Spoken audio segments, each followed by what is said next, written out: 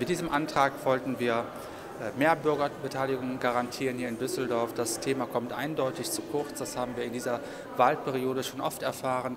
Bürgerbeteiligung und Bürgerinformation sind hier Stiefkinder der Ratsmehrheit. Und man muss einfach sagen, ähm, wir müssen da wirklich dicke Bretter bohren, um da voranzukommen. Eine Möglichkeit, die wir jetzt gesehen haben, waren Online-Umfragen anzubinden, wo dann die Verwaltung dann eben auch ab und zu mal nachfragen kann, äh, was Düsseldorfer Bürgerinnen und Bürger zu bestimmten Themen denken. Äh, das wurde heute leider abgelehnt. Da sind andere viel weiter. In der EU sind Konsultationen quasi gängiges Mittel der Politik.